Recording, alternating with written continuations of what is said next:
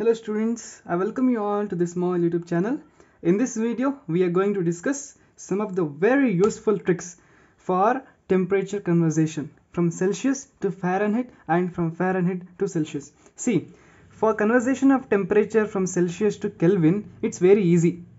You all know, right? But the problem comes when we have to convert from Celsius to Fahrenheit or Fahrenheit to Celsius. Okay, so First, let's see some useful tricks for conversion of temperature from Celsius to Fahrenheit. Okay, I'll take some examples. From examples, I'll make you to understand. Suppose 10 degrees Celsius, we have to convert to Fahrenheit scale.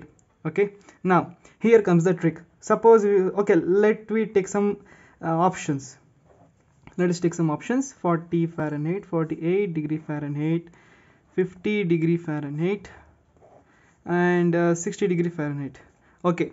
These are the option I have given you. Now answer me within seconds. Can you answer? Maybe you can answer after this video. Okay let me answer. So the answer will be 50 degree Fahrenheit. How did I say? See look at the trick. I'm going to the I'm going to write the trick. So be careful. Okay. Now what you have to do is whatever the Celsius degree they have given just multiply with 2 what we will get 20 right? Now to this answer just add 30 what will be the final answer? 50 degree Fahrenheit. Here you go you got the answer. Just in mind you can calculate okay? Just in mind just simple math you can get the answer. Okay.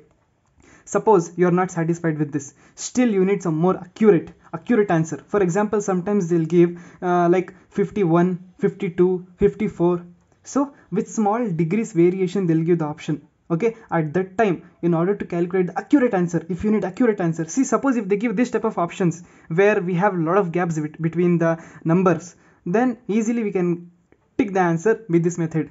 But if you need accurate answer just one more step. Okay? Just one more step. If you need accuracy just one more step. What is the step is? First take 10 okay? 10 minus whatever temp whatever be the temperature they gave you. Okay? In the question subtract it and divide it by 5 what will be the answer? 0 by 5 so what is the error? 0 it means the answer is definitely 50 degrees celsius. Okay? There is no accuracy. I mean there is no point or 51 52 nothing like that. Okay? So this is the right answer with accurate accuracy getting my point? Okay. Let us take some more examples to make you understand better. Suppose if we have to calculate or we have if we have to convert 15 degrees celsius to fahrenheit. What is the trick? First multiply with 2 answer 30 add 30 okay. This is what we did here right? Multiplied with 2 for the answer of multiplication we added 30 so similarly if we add what we get? 60 so 60 degree fahrenheit is your answer. Now again if you need accurate answer even in points then what do you have to do? With 10 we have to minus. What do you have to minus? Whatever the temperature they gave you minus it and divide by 5 minus 5 by 5 which is minus 1 so accurate temperature is 60 degree minus 1 which is 59 degree Fahrenheit. This is the accurate answer. But if they give you the option like 60 degree, 70 degree, 80 degree, then easily you can mark it, right? But when they gave in the option like 59, 60, 61, 62, then you can calculate the accuracy. Okay, I'll take some more examples. This is the last example let me take. Suppose you have to convert 50 degrees Celsius to Fahrenheit. What you have to do? Multiply with 2. You will get 50. Add 30 what is the answer? 80 degrees celsius. Now accuracy. How to check accuracy? 10 minus whatever the temperature they gave you 25 divided by 5 what is the answer? Minus 15 by 5 finally minus 3 so minus 3 we have to add to 80 degrees celsius 80 degrees fahrenheit. This is fahrenheit.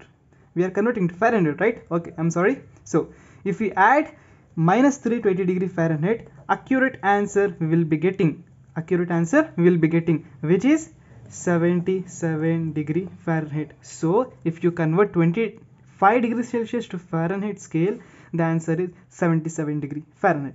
Okay now let us take the examples or uh, the models of converting Fahrenheit degree Celsius Fahrenheit to centigrade degree Celsius scale okay now I'll take some more examples suppose 50 degree okay 50 degree Fahrenheit we have to convert to Celsius.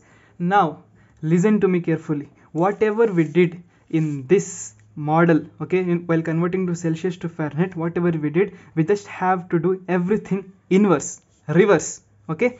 Here what we did we multiplied with 2 but in this model we have to divide with 2 next here in Celsius to from in Celsius to Fahrenheit we added 30 degree but in this case uh, from converting Fahrenheit to Celsius we have to subtract 30 degree. Whatever be the functions just we have to inverse them. Okay? Now what I told 2 we have to divide and 30 we have to subtract subtract. Okay? Now first as everything is inverse we will start with inverse only. First we will subtract with 30 degree. See we added we added here so we are subtracting here. And we are moving from reversed in reverse direction what will be the answer? 20 right? Now here we multiplied with 2 but in this case we will divide with 2 what will be the answer? 10 degrees celsius. Now one more example i'll take. 60 degree fahrenheit we have to convert to celsius.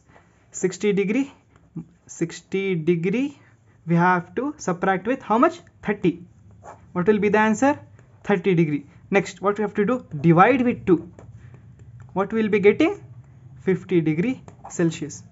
The same if you need accuracy we can calculate accuracy also similarly okay? So in this way we can solve or we can convert from fahrenheit to celsius or celsius to fahrenheit within seconds okay? Now you just have to do one thing. Just practice this type of questions many times. As more as many times you practice the more perfect you become. The more perfect you become very easily within few seconds you can solve the answer. Okay?